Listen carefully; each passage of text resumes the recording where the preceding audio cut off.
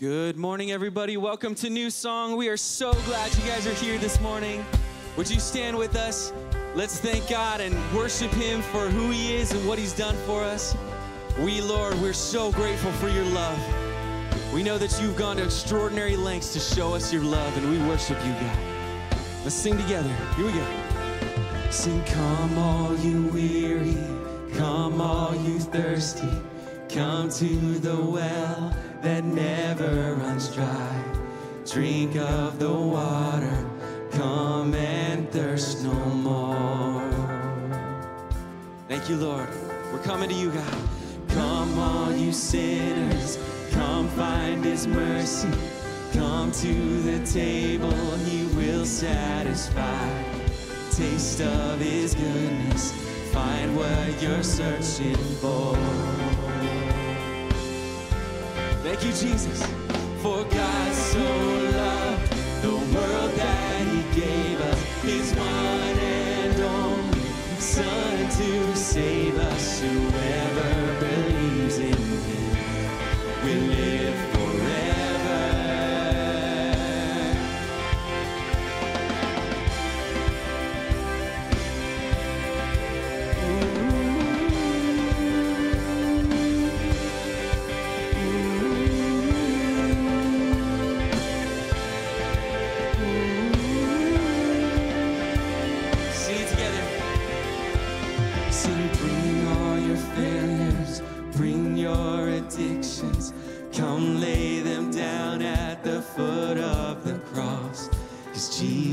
Is waiting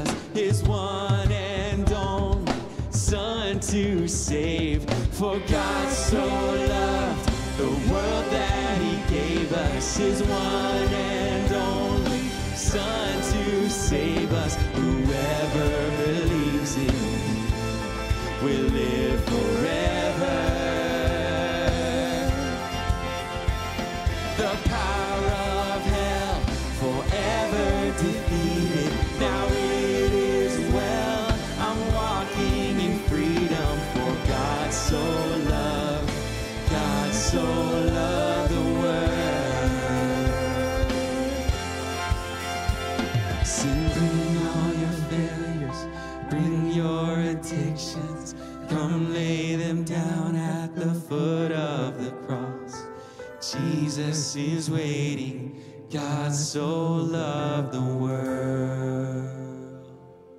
Amen. God, thank you for your love for us, Lord. We know that you gave up your son, that he shed his blood on a cross. Because of that, we have power and freedom and healing and life and joy and peace. We choose to live in that this morning. Thank you. Sing, I just want to speak his name. I just want to speak the name of Jesus over every heart and every mind.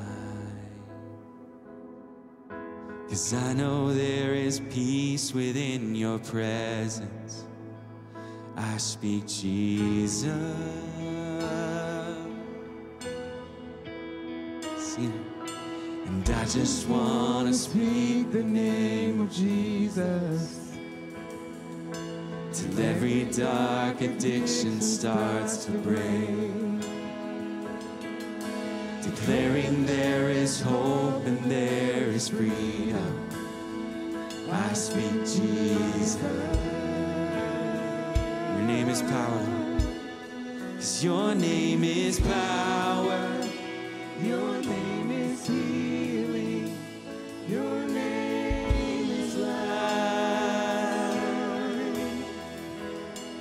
Break every stronghold. Shine through the shadows. Burn like a fire. Thank you. 'Cause I just want to speak the name of to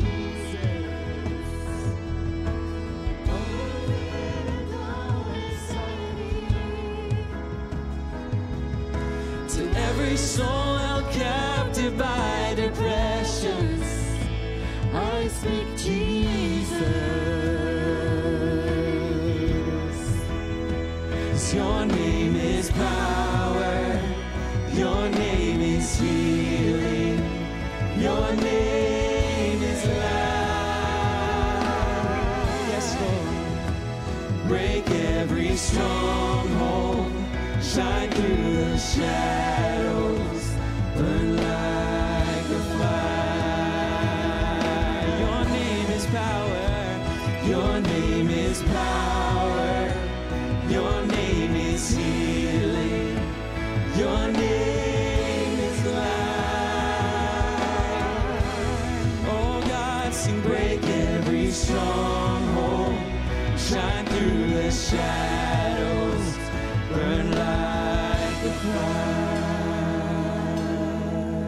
Shout his name.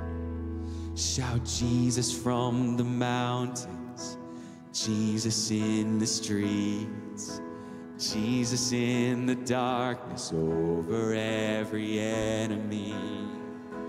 Jesus for my family, I speak the holy name, Jesus. Shout his name.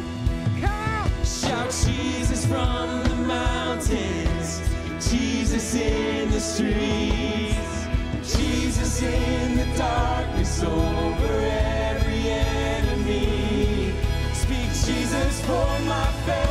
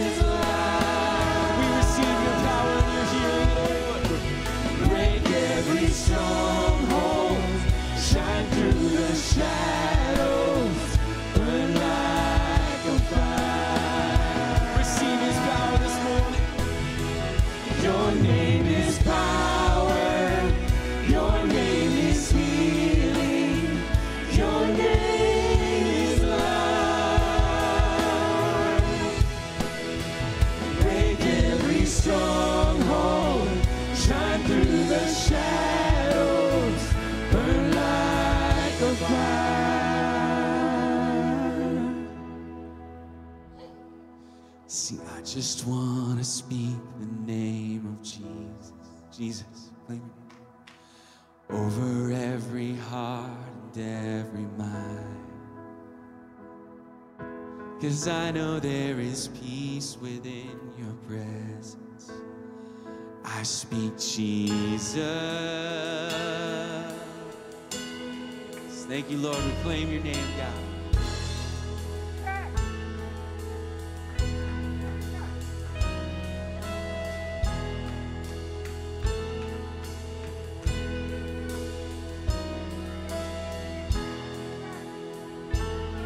Shout his name. Shout Jesus from the mountains, Jesus in the streets, Jesus in the darkness over every enemy. Jesus for my family, I speak the holy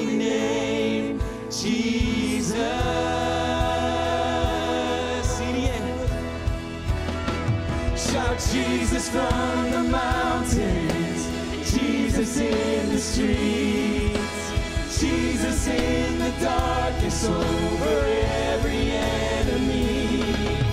And Jesus for my family,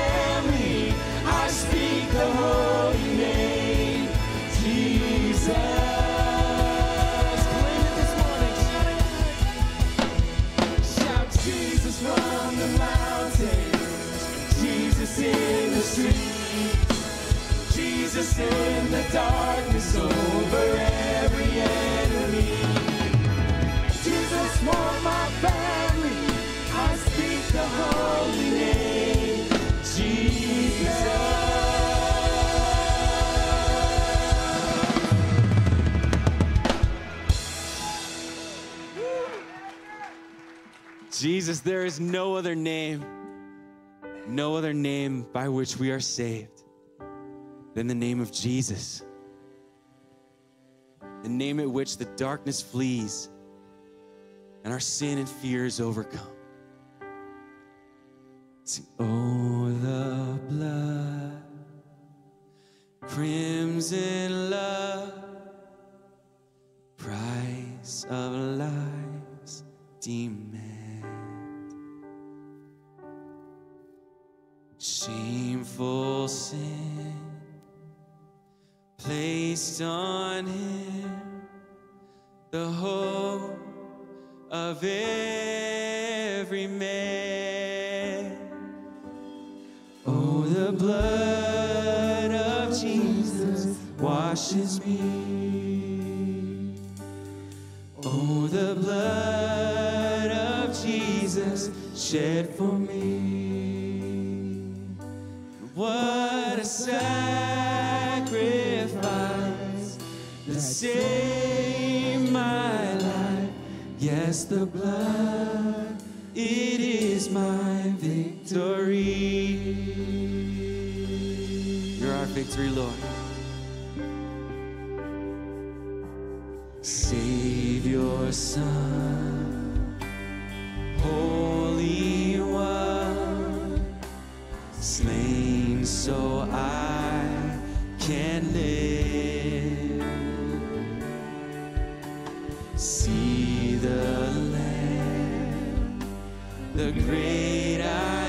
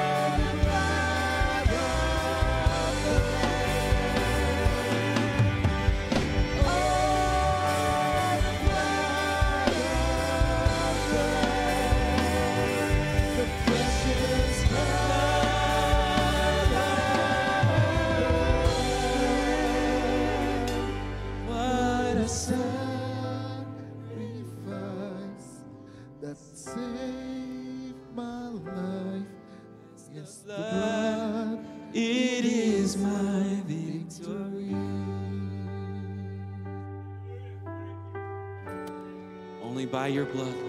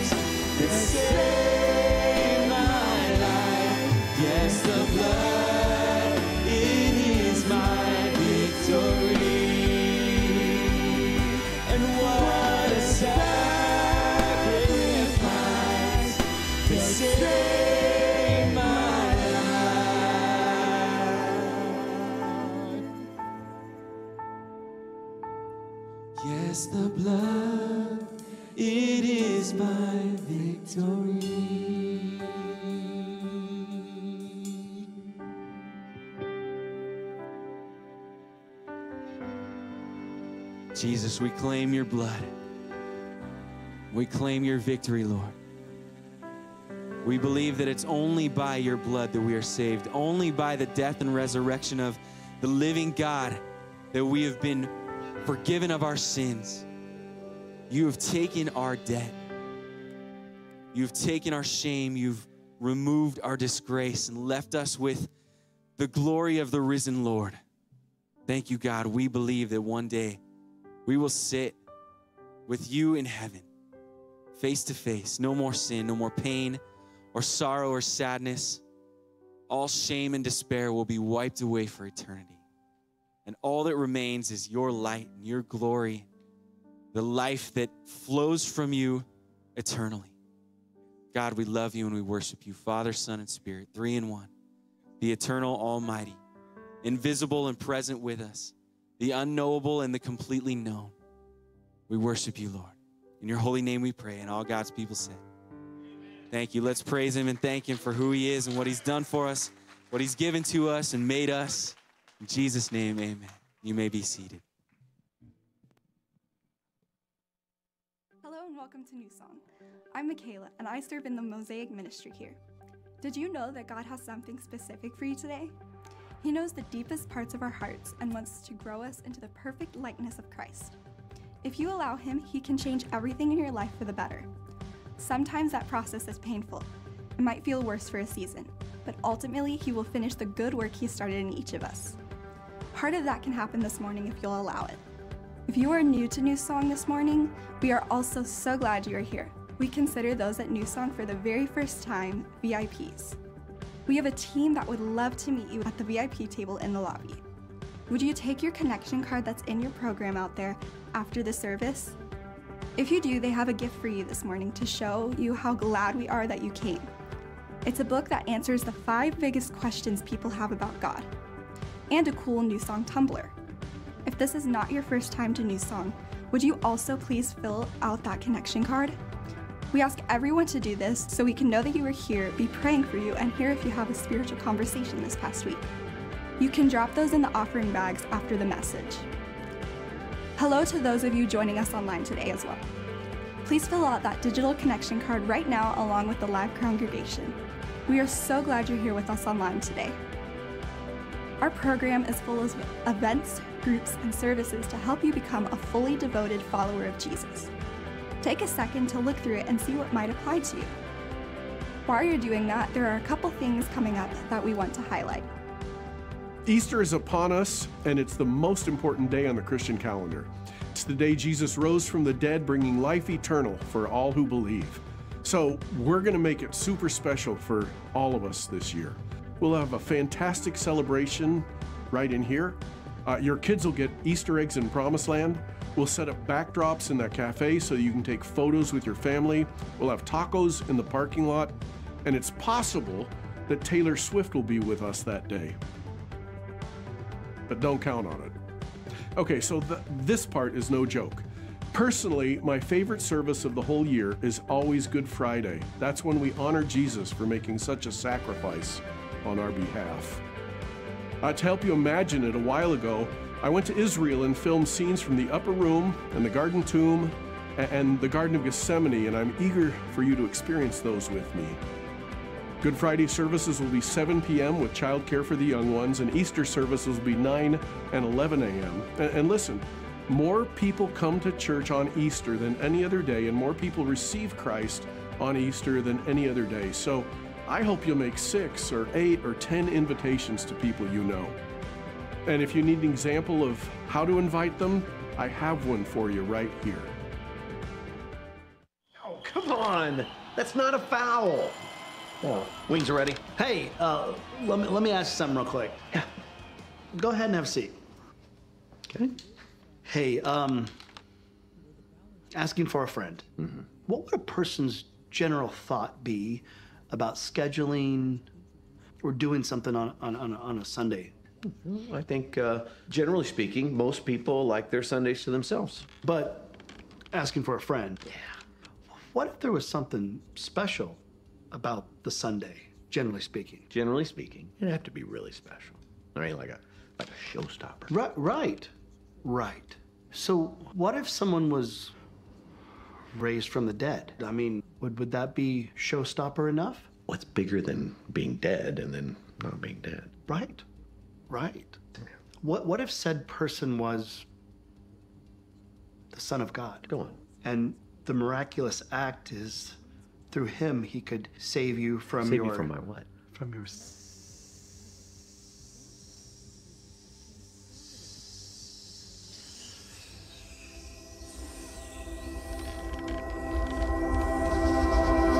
sins. Oh. Asking for a friend. Asking for a friend. Do you think a friend would like to go to something like that on a Sunday morning if invited? Tell your friend that uh, if he doesn't invite somebody to that, he's probably not really a friend. Right, Right? right, Right? right.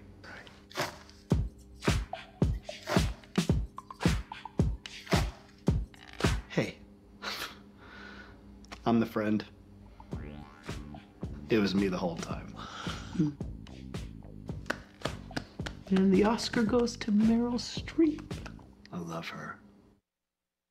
Before we continue to our service, take a second to meet some of the amazing people around you. God intended us to live the Christian life in community, and we should know the other people we're worshiping with. So please stand up now and go make some new friends.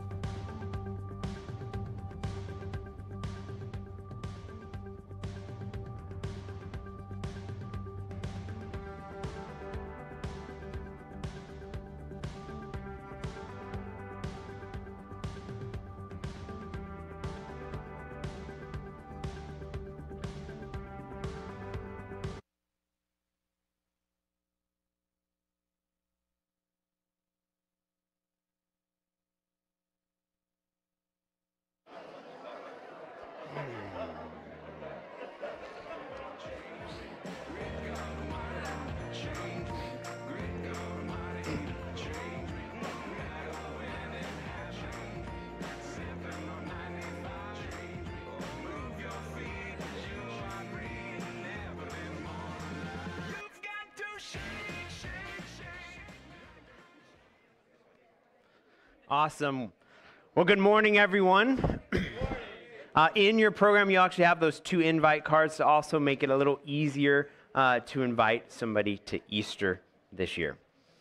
Let me pray for us as we begin.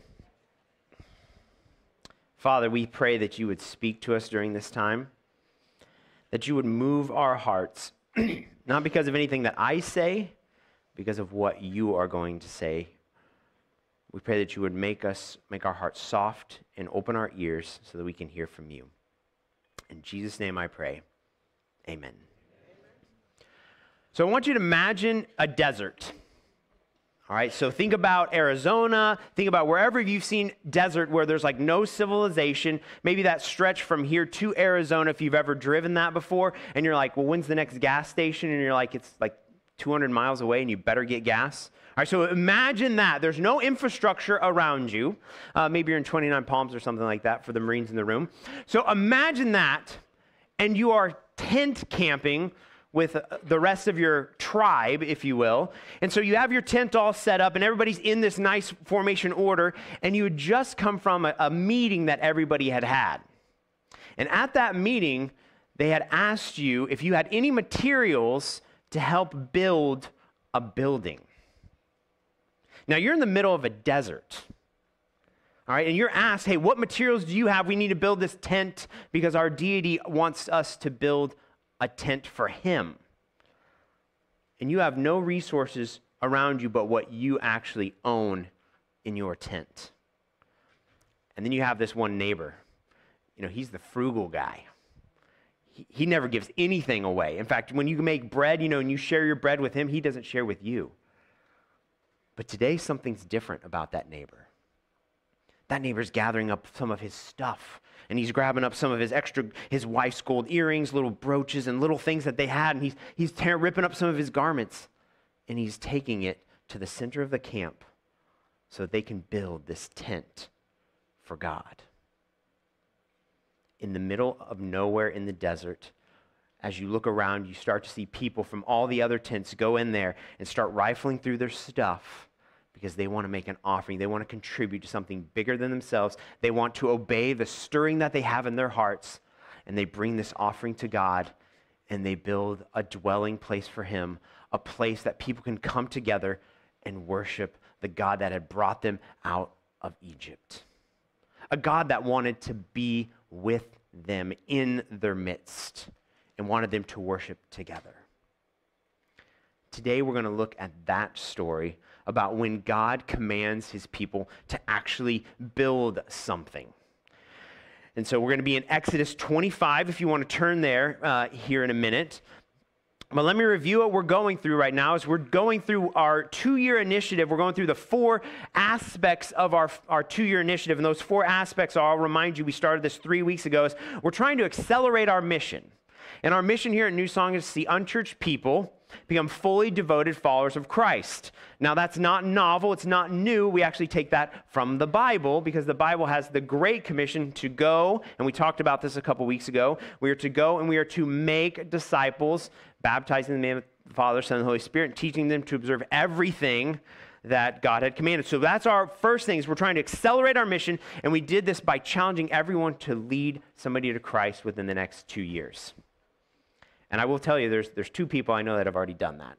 One person led their uh, uh, air conditioner uh, fixer to Christ, and somebody led their friend to Christ. It was an amazing story from my life group.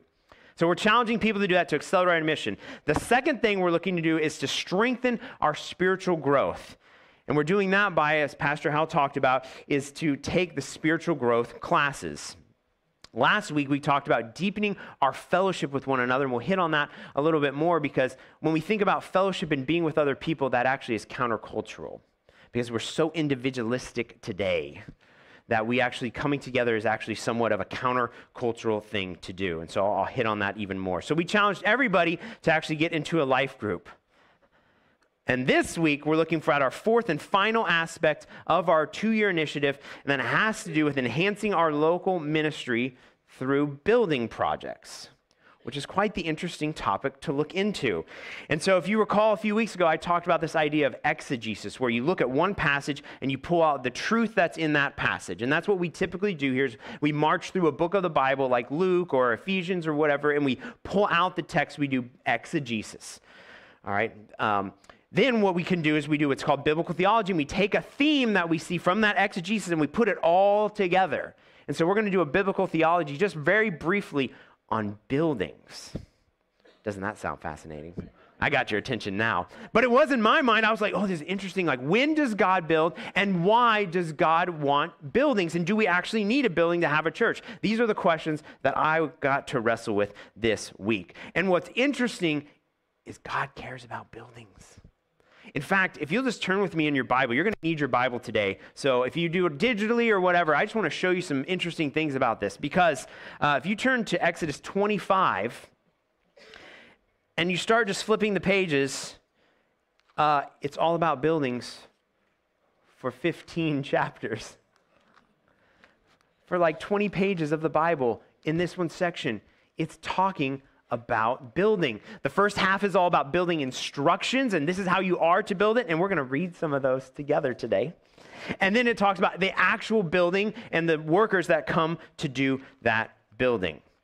So let me give us the context of Exodus 25. But as you'll see in Exodus 25, uh, it says offerings to build the tabernacle. We'll start reading there, but then it goes through the ark, the table, the lampstand, the tabernacle, the altar of burnt offering, the courtyard, the oil lamp, the priestly garments, the breastplate, the ephod, and on and on and on for 15 chapters. I think God cares about buildings. In fact, God really cared about this building, and I'll tell you why here in a minute.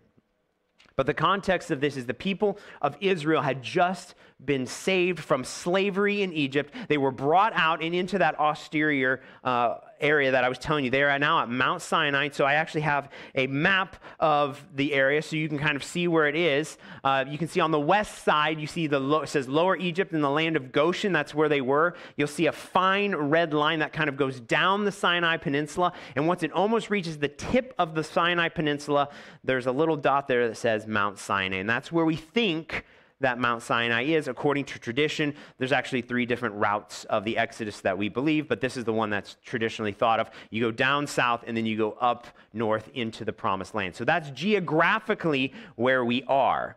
Now, when I told you that this is a really austere area, let me show you a picture of what Mount Sinai would look like. This is where tradition has it. I hope you can see that, but it is like this undulating terrain, lots of hills. There's, I mean, where's your water? Where's your food? I mean, you are, are in the middle of nowhere. No wonder when God gave them manna and God gave them water, it was a miracle that they finally had something to eat and they had something to drink. So, this is where they are. And then God is going to say this to them in verse 1 of chapter 25. So, look with me in your Bibles. This is what it says The Lord said to Moses, Tell the Israelites to bring me an offering. You are to receive an offering for me from everyone whose heart prompts them to give. These are the offerings you are to receive from them. And listen to this detail gold, silver, bronze, blue, purple, and scarlet yarn, and fine linen, goat hair, everyone needs that, ram skins dyed red, and other types of durable leather, acacia wood, uh, olive oil for the light, spices for the anointing oil and for the fragrance incense, and onyx stones, and other gems to be mounted on the ephod and breastplate. That is quite the laundry list there. Then have them make a sanctuary for me, and I will dwell among them. Make this tabernacle and all its furnishings exactly like the pattern I will show you. So I just want to highlight just a few things uh, from that passage. Back in verse 2, God tells them to bring an offering. And I've already hinted at this. They're in the middle of nowhere and they're told to bring an offering. So they have to go back to the stuff that they have that they themselves brought out of Egypt. There's nothing they could harvest, there's no wood around, there's really not even any brush around. It is an offering from the people of what they possessed when they left Egypt. Now, when they left Egypt, if you recall the story, it's fascinating because God told them before you leave Egypt, it says this God told Moses to tell the people that men and women alike are to ask their neighbors, their Egyptian neighbors, for articles of silver and gold. And then it says, when they left, they got those articles and silvers from the Egyptians. It's almost like God already had a plan for this. It's like God had already resourced them with the materials they needed. They brought those materials out there in the middle of the desert, and now God has said, Hey, those materials you brought and some of the other things, I'm asking you for those so that you can build me a sanctuary. Notice too, this offering that he asks, it's actually voluntary. It says, You are to receive an offering from everyone whose heart prompts them to give. So this isn't something that they're compelling or commanding everyone to do. God later does that by saying, hey, you should bring the tithe. That belongs to the Lord. So the tithe belongs to the Lord. But this offering is supposed to be one that God prompts on your heart to bring forth and uh, participate in this project. It is an invitation from God into the work that He is doing. Now, what I find fascinating with this too is why does God even care about this building? What's this building supposed to be for? Well, verse 8 tells us, Then have them make me a sanctuary for me, and I will dwell among them. So here's what that dwelling would look like. We'll put up a picture of it. This is a replica that was made uh, in the desert. So you see, it has this outer wall that is kind of built, and it's built with some sort of uh, you know, curtain type uh, uh, material. And if you look on the left side of the picture, you see what there's kind of an altar and it has four little horns to it. And uh, there's all sorts of fascinating stuff when it comes to the tabernacle and all the details. If you're really interested, great read this afternoon. Just pick it up, you know, 20 pages on how to actually build this thing, the dimensions, everything is in there. And then you can actually see the tent itself in the middle with those vertical. Um, with those vertical curtains, and the only people allowed inside the actual tabernacle, if you will. It, well, it's called tabernacle. It's also a meeting place. But inside there are the priests, and inside there's another set of curtains, and inside that, behind that set of curtains, One priest could go, the high priest, once a year, and that would actually be the throne room of God where the Ark of the Covenant was. And they thought that that was actually where God himself would be present and actually sit.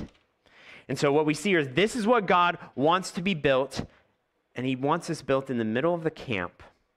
And we could unpack all of that imagery. It's really interesting.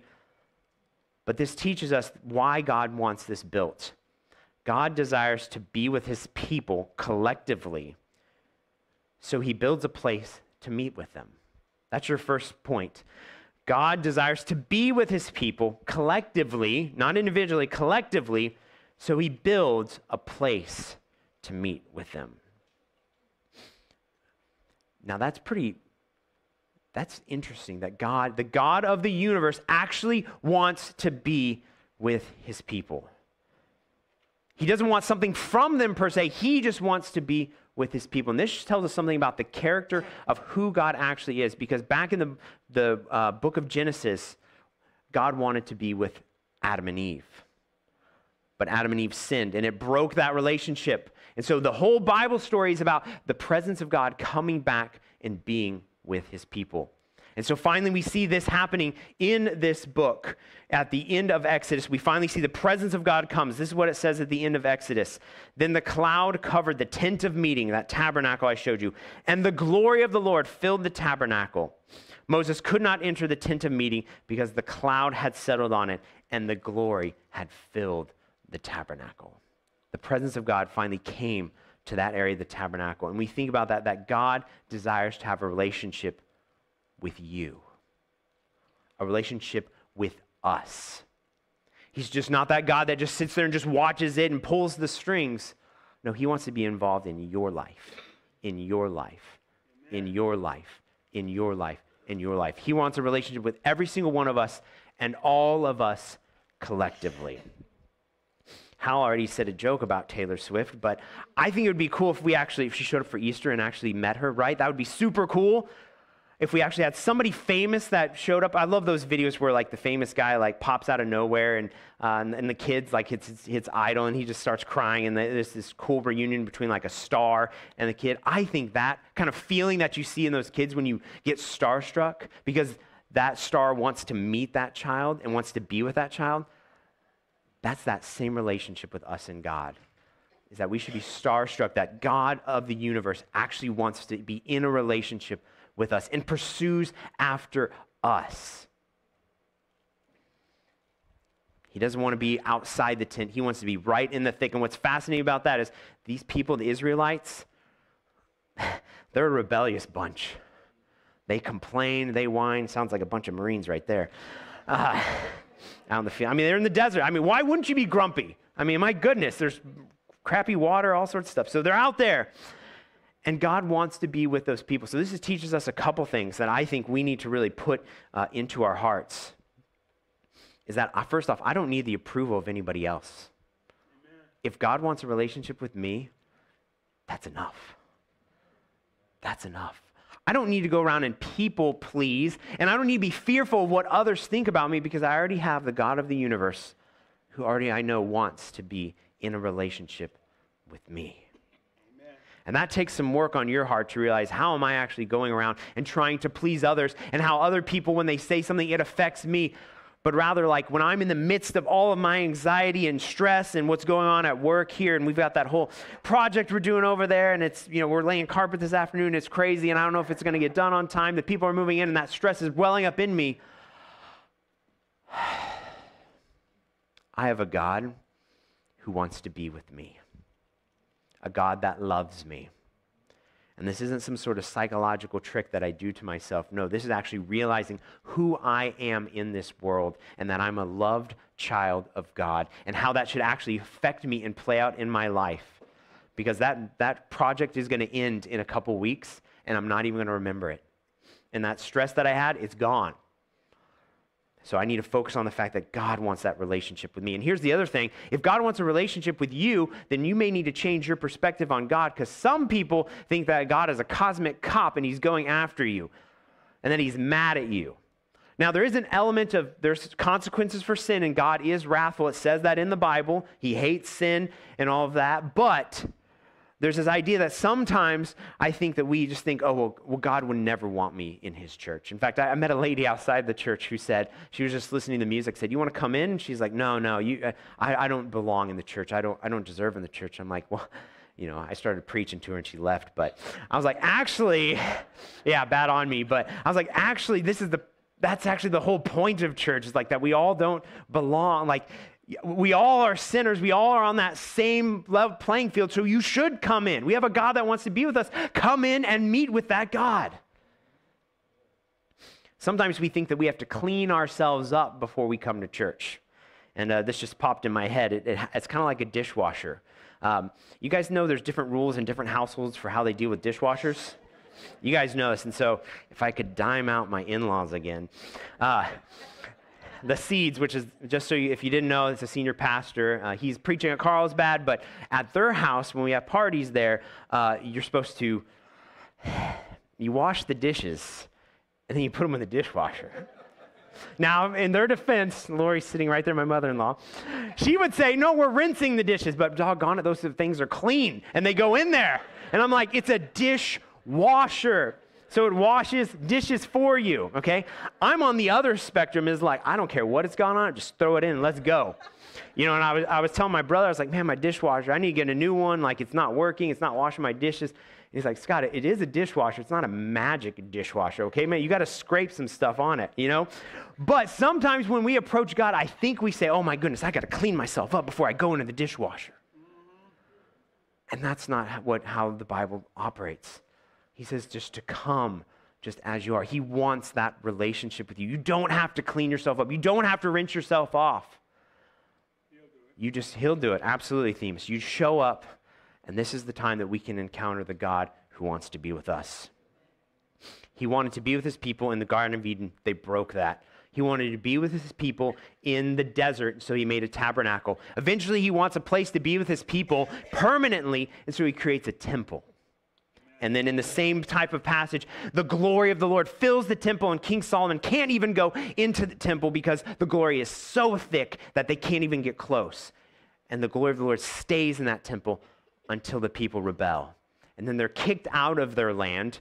Again, that consequence for sin. And the glory of the Lord describes this in Ezekiel, if you want to read it. The glory of the Lord leaves the temple, the presence is gone from that space.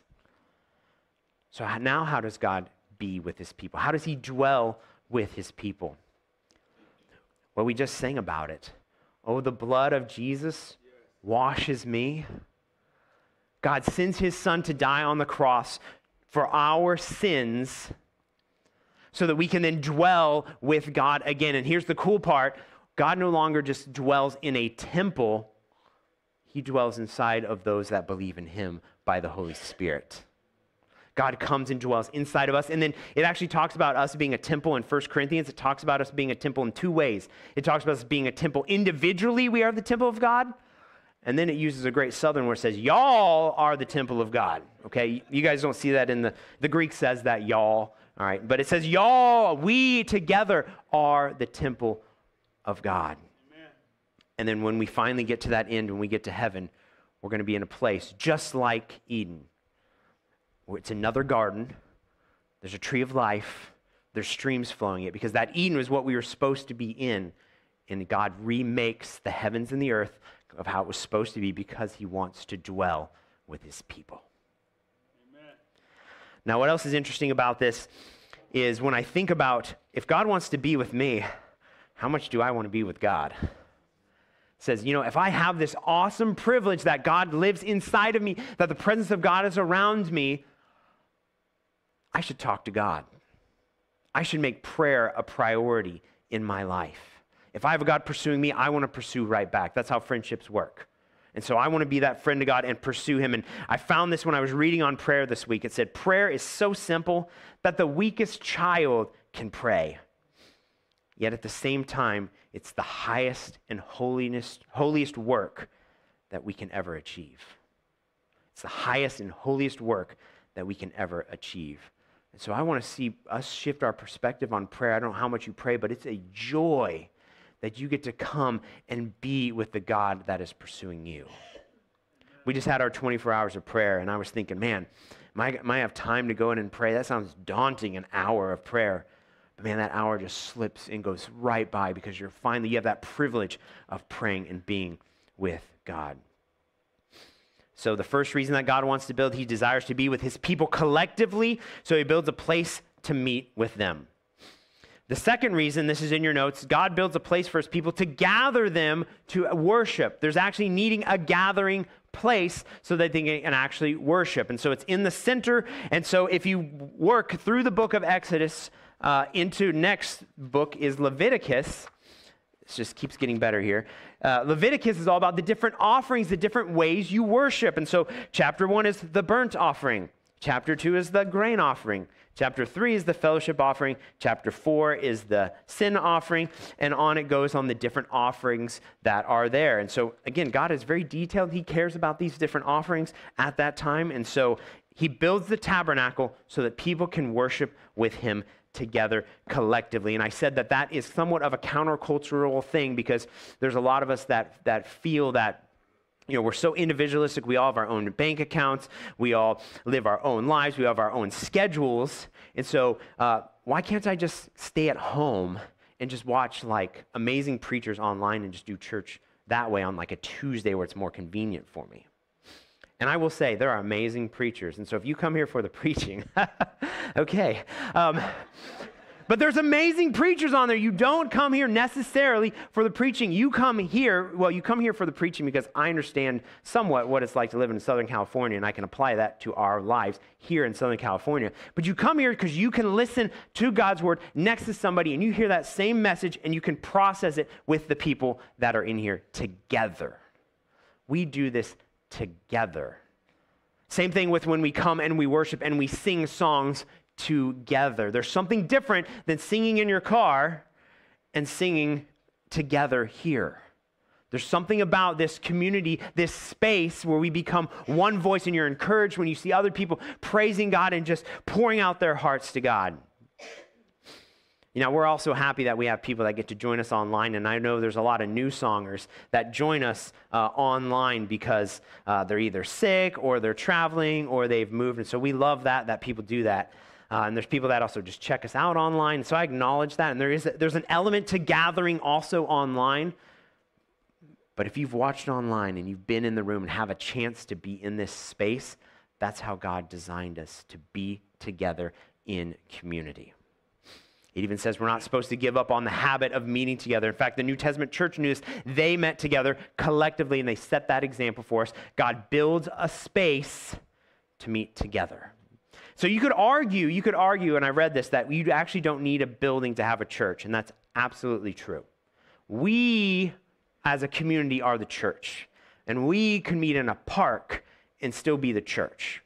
We can meet in a school and still be the church.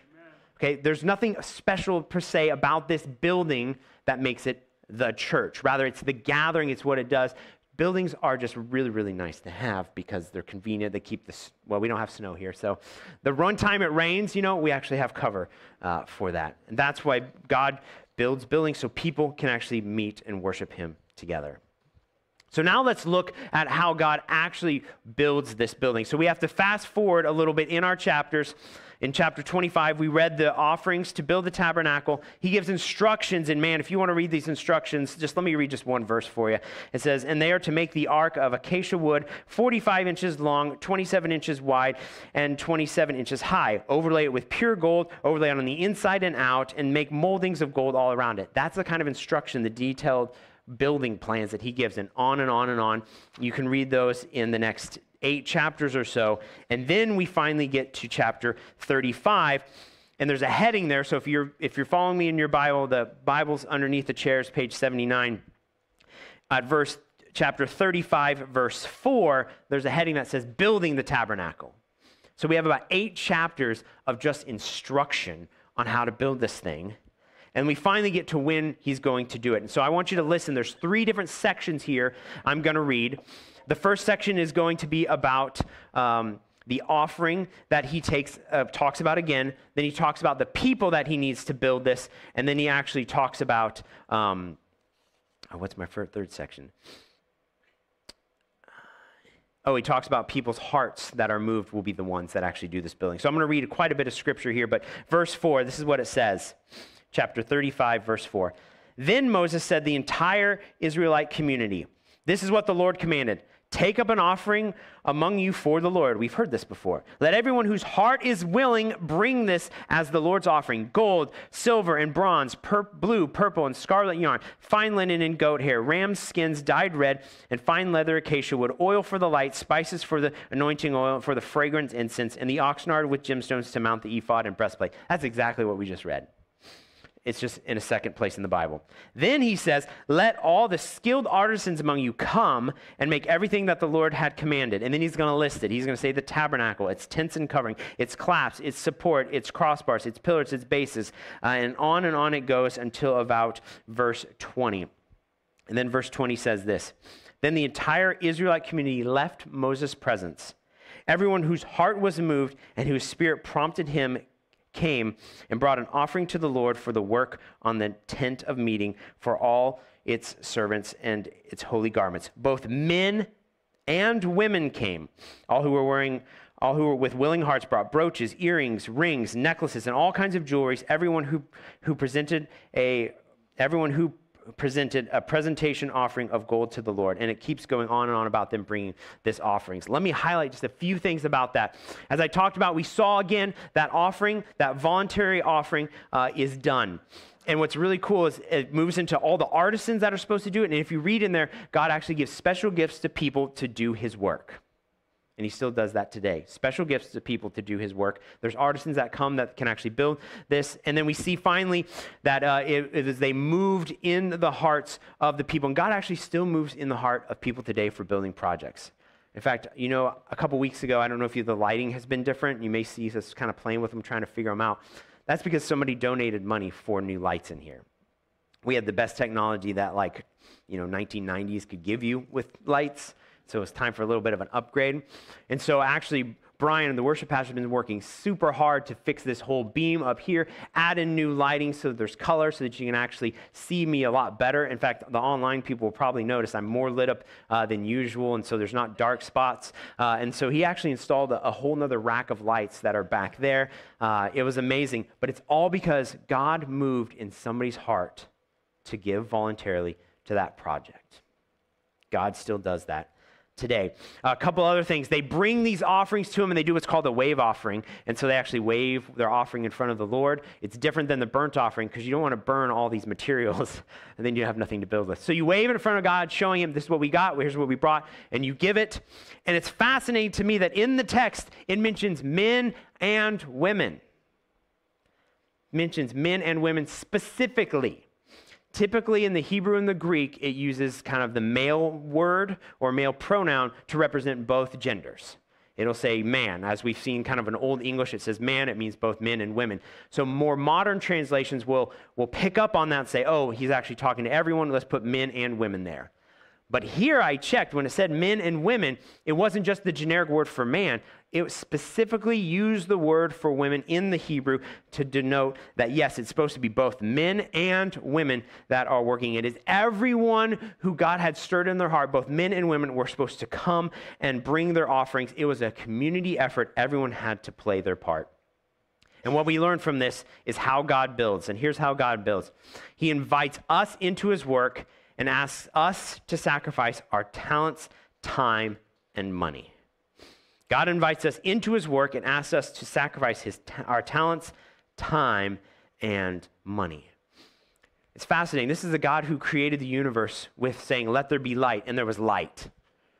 Why didn't he just say, Let there be my tabernacle? And there the tabernacle was. God didn't choose to do that.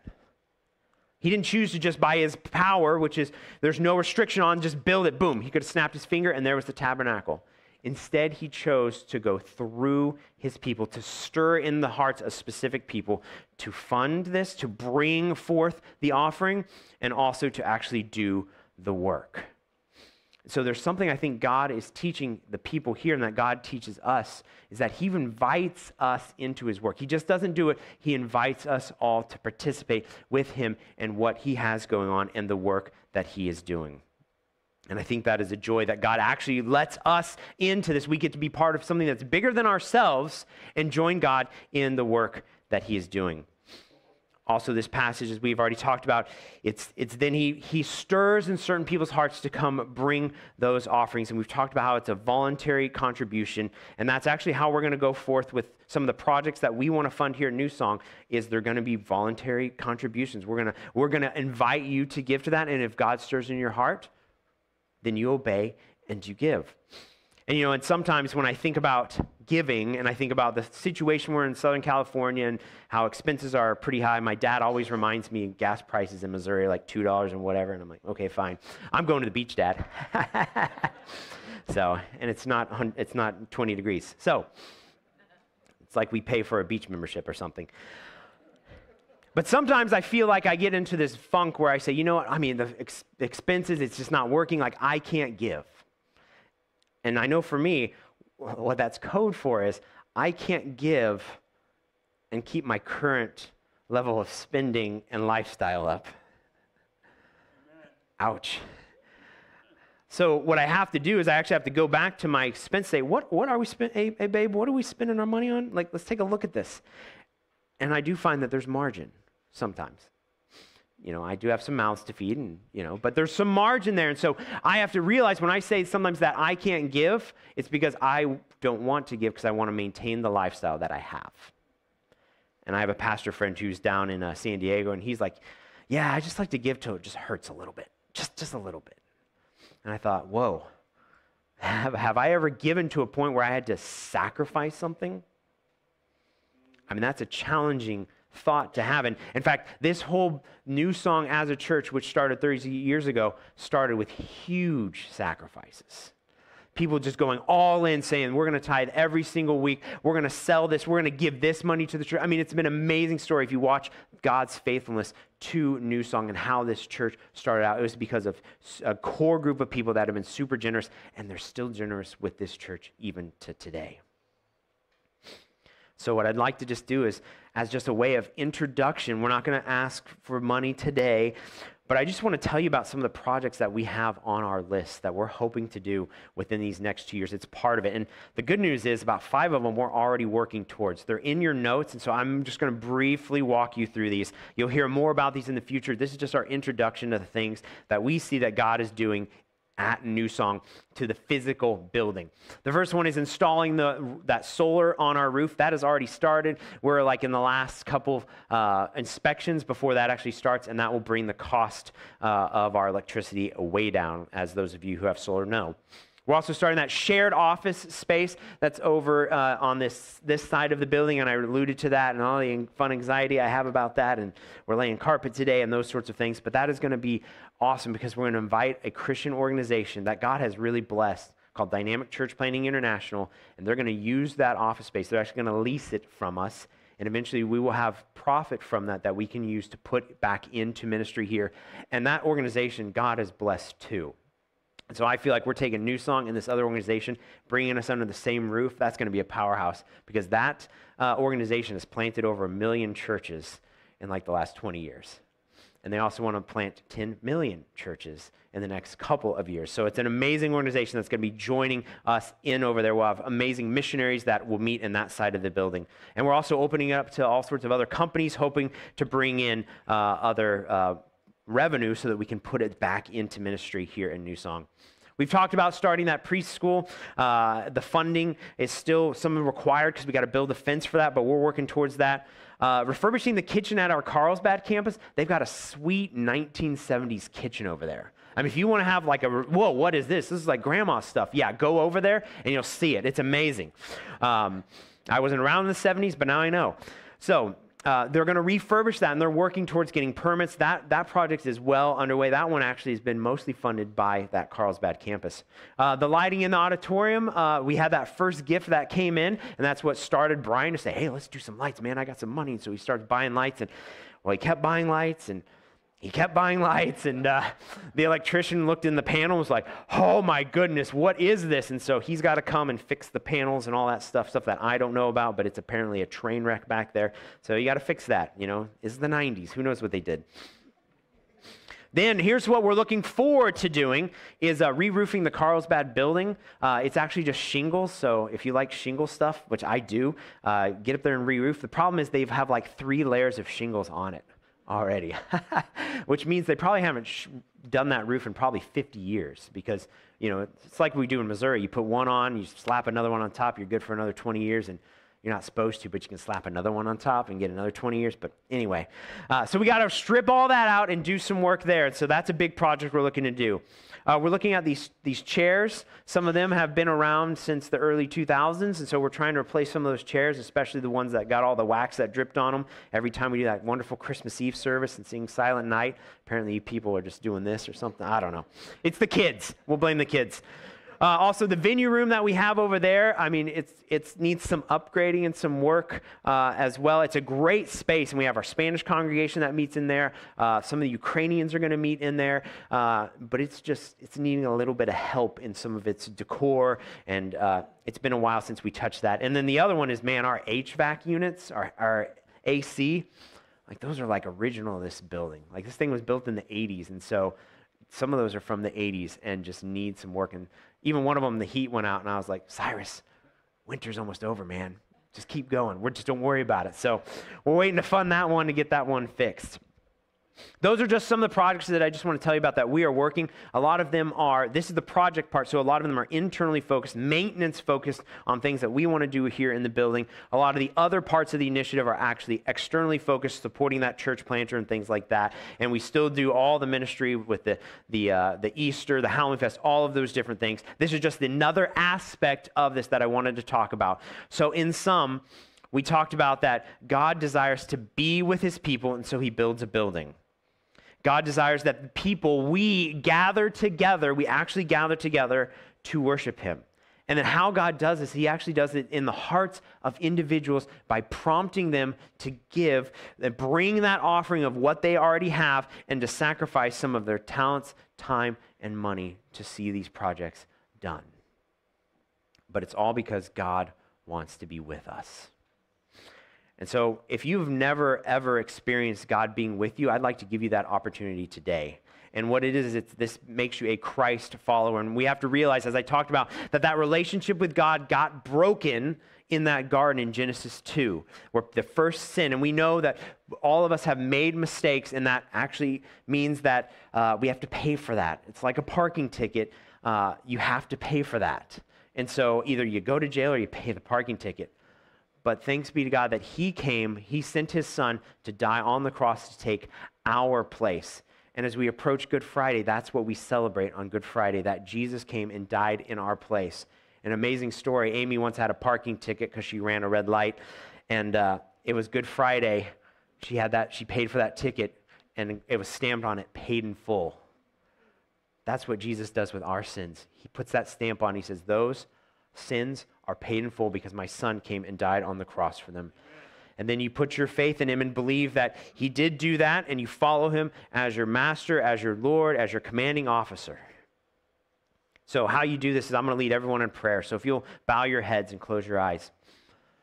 we're just going to admit that we have made mistakes, we have sinned, we have disobeyed God, that we need a Savior, and we want God to be that Savior. So pray with me. If you've never invited Jesus into your life, you've never had Him come clean you from your sins, you thought you had to clean yourself or something, pray this with me. Say, Dear Jesus, I admit that I'm a sinner and that I'm in need of a Savior. I believe Jesus died on the cross to be my Savior.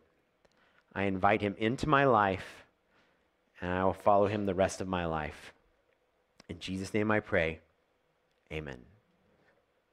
And then we always love to celebrate if somebody actually prayed that prayer for the very first time. We like to just recognize you by you just putting your hand in the air. So if you prayed that prayer, would you just wave at me and let me know that you prayed that prayer for the first time? Is there anybody that had prayed that prayer for the first time? It's usually a regular thing around here. Is there any hands? Anybody pray that for the first time? Okay. We're going to move on now to our discussion questions. And so, again, if we're going to be a community, you got to talk to one another. So I'd love for you to meet your neighbor if you haven't met them. Uh, and then you're going to ask two questions what stood out to you, and then which project uh, kind of excites you or is interesting to you.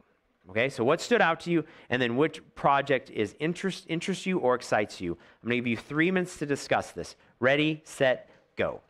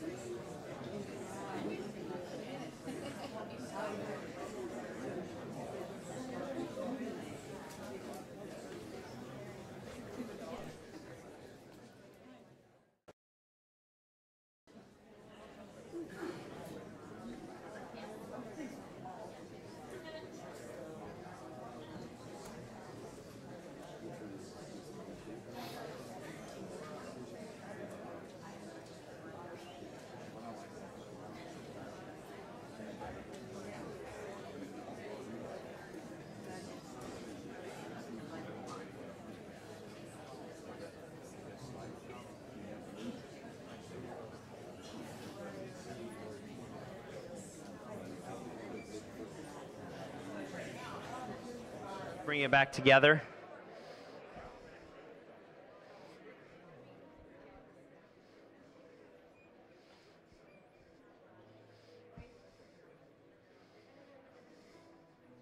So, we're going to move into a time where we are going to respond to what we heard. And so, we will be passing around the offering bags. Stay seated until the offering bags come by. Then you're welcome to stand up and sing this last uh, song to the Lord. And we talked about God who wants to be with you and wants to hear from you. And so, if you want to pray about anything uh, that is going on in your life, uh, you can come up and receive prayer. There'll be prayer partners here who would love to pray with you about whatever is going on uh, in your life. Let me pray for us. Father, we thank you that you are such a gracious God and that you desire to be with us. We pray that you would speak to us, continue to speak to us, and work on our hearts today, God. And we do thank you for this building that you have given us, God. We pray that you would help us to use it well and for your glory, God. And we thank you for the sacrifices in the past, the sacrifices that people made in the present, and the sacrifices that people are going to make in the future to continue the work you want to do with New Song in this corner of Oceanside, in San Diego County, up to Temecula, and even into the world beyond, God. We thank you that you invite us to work with you, God, and we thank you for that opportunity. Thank you for those that have generous hearts and that give generously, God. I pray that you would bless them in a special way this week. It is in Jesus' name that I pray. Amen.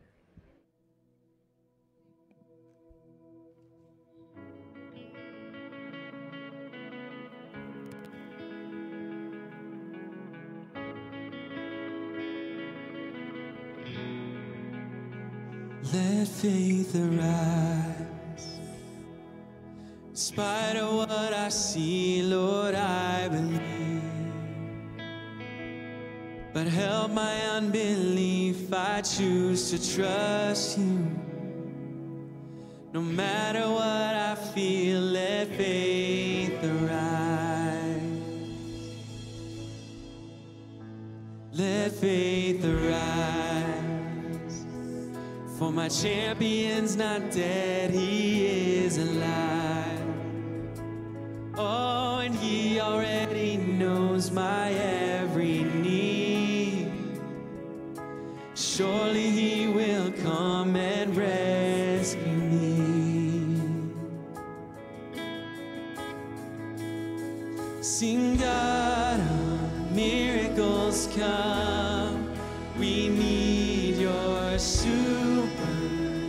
Supernatural love to break through. Nothing's impossible. You're the God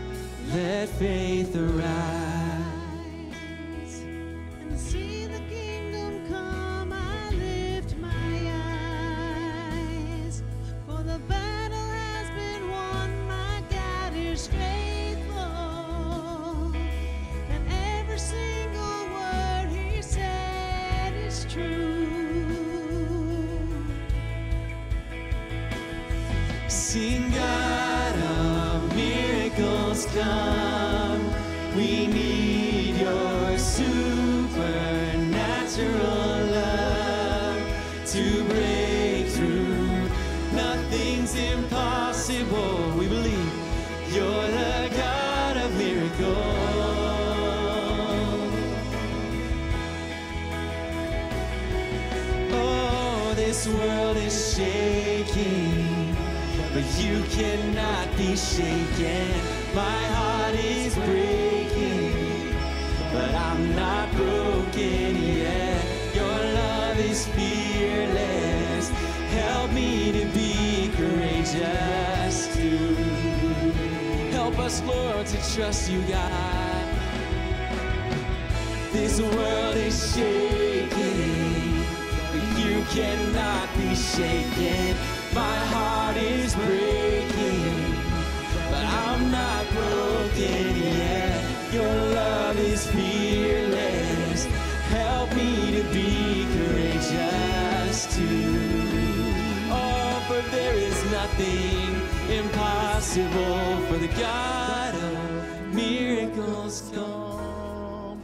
We need your supernatural to break through. Nothing's impossible. You're the God of miracles.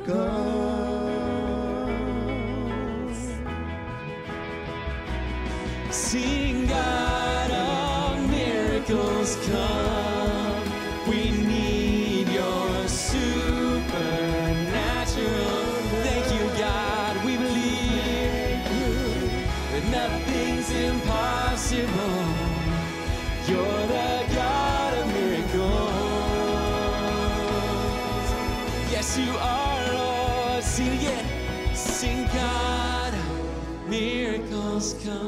Into our lives, Lord.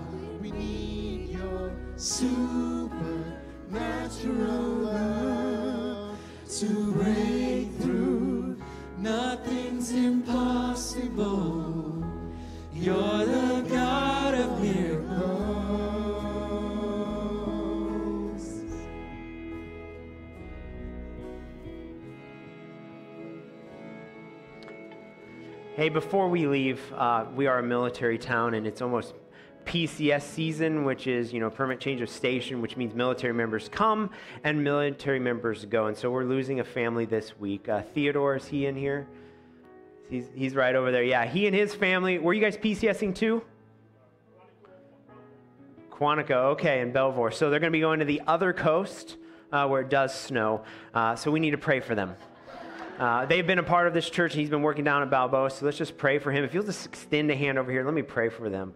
God, we pray for this family that has just been serving you mightily in the military. God, and we just pray that as they, they do the trek this Tuesday across the entire United States, God, we pray for traveling mercies. We pray for all the goofy stuff that can happen with their shipments and all of that. And so we just pray that there'd be peace on them, that they would get to um, Quantico and Belvoir as they need to, God. And we just pray that they'd be able to find a great community over there on the other coast, God, that they can thrive. And we thank you for the work that you've done in their lives and the part that they have played in New Song. It is in Jesus' name that we pray. Amen. So may the God who desires to be with you, who made a way to be with you, go with you this week as you love and serve him. Amen. Have a great week.